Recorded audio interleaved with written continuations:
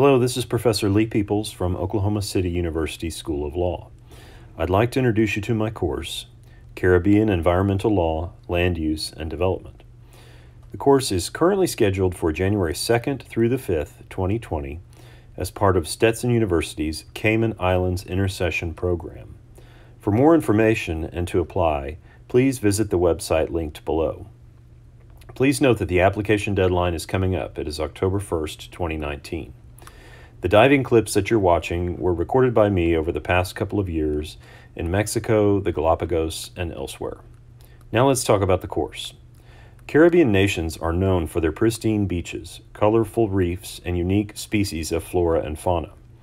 Caribbean environmental, land use, and development laws attempt to preserve natural resources while facilitating land use and development that supports tourism and the local economy.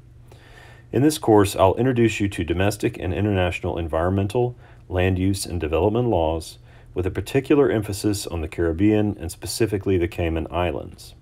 Once you've been introduced to the relevant laws, we will use a problem-based approach where students will apply Caribbean and Cayman Islands laws in class discussions.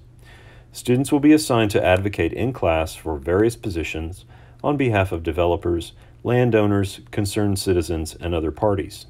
Once Stetson confirms the class has reached sufficient enrollment, I will be inviting guest speakers, including lawyers and others involved in environmental law and development, to join some of our class discussions. I'll also be arranging some extracurricular activities that may include field trips to locations around Grand Cayman and potentially a snorkeling or diving trip. If you're interested, please apply before the October 1st, 2019 deadline. Now, let me conclude by telling you how I became interested in these topics. First off, I'm involved in economic development and land use issues in my local community.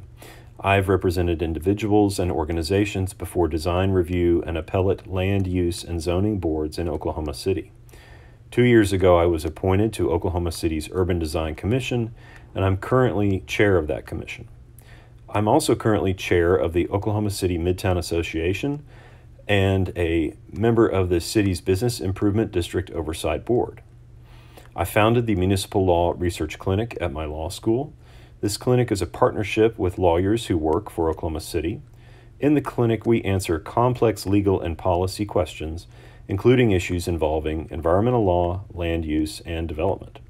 I hope that you'll apply for the course if you have any questions, please feel free to email me at the address below.